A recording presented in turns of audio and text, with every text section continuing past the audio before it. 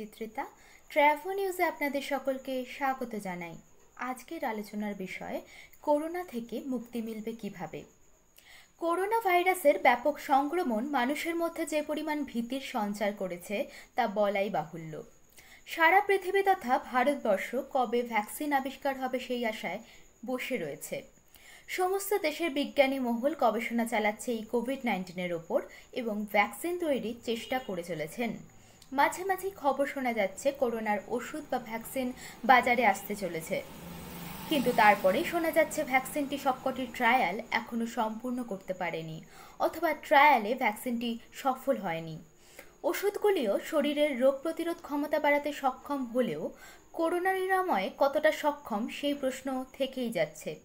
তাই একটি কঠিন সত্য আমাদের মেনে নেওয়া প্রয়োজন।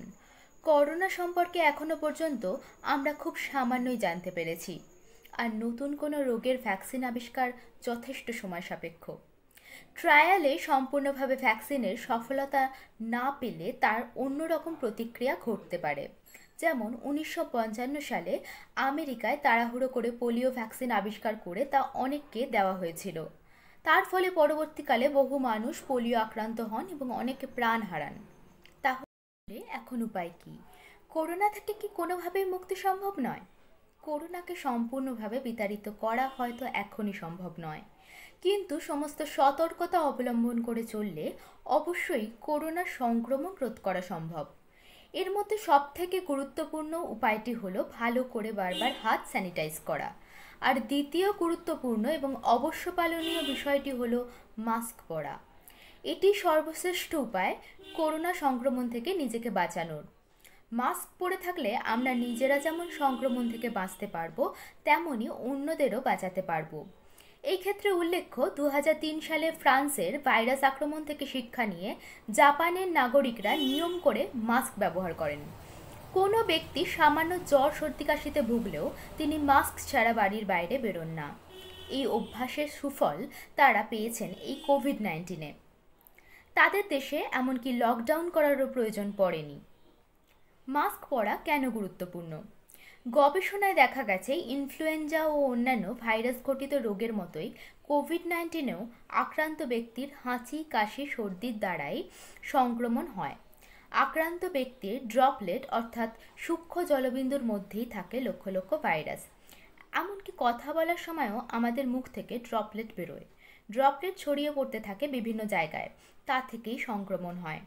রোগীর কাছে থাকা সুস্থ ব্যক্তির মুখ, জামাকাপড় বা হাতে সেই ড্রপলেট লেগে সংক্রমণ হতে পারে। এমনকি বাতাসের ড্রপলেট নিঃশ্বাসের মাধ্যমে সুস্থ ব্যক্তির দেহে ঢুকে যাওয়ার আশঙ্কাও থাকে। তাই ভালো করে নাক মুখ ঢেকে মাস্ক পরে থাকলে এই সম্ভাবনা এড়ানো সম্ভব। আমাদের মাথায় রাখতে হবে যে কেউ উপসর্গহীন করোনার বাহক হতে পারে। তামিলনাড়ুর মুখ্যমন্ত্রী কে পলানিস্বামী জানিয়েছেন, তামিলনাড়ুর মোট করোনা রোগীর ছিয়াশি শতাংশই উপসর্গহীন। বর্তমানে এই উপসর্গহীন রোগীদের নিয়ে সমস্যা সব থেকে বেশি, কারণ তাদের দেহে উপসর্গ বিশেষ না দেখা দিলেও তারা কিন্তু রোগ ছড়াতে সক্ষম। যতদিন পর্যন্ত না কোনো ভ্যাকসিন আসছে, ততদিন এই রোগকে সাথে নিয়েই আমাদের বাঁচতে হবে। তাই সতর্কতা অবলম্বন করা ছাড়া আমাদের কাছে আর কোনো উপায় নেই। শুধু নিজে সতর্ক হলেই হবে না, অন্যদেরকেও সতর্ক করতে হবে।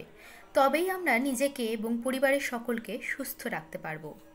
আশেপাশে কারোর রোগ সংক্রমণ হলে তার সাথে অমানবিক ব্যবহার না করে সেও যাতে ভালো মতো চিকিৎসা পেয়ে সুস্থ হয়ে উঠতে পারে, তার চেষ্টা করুন।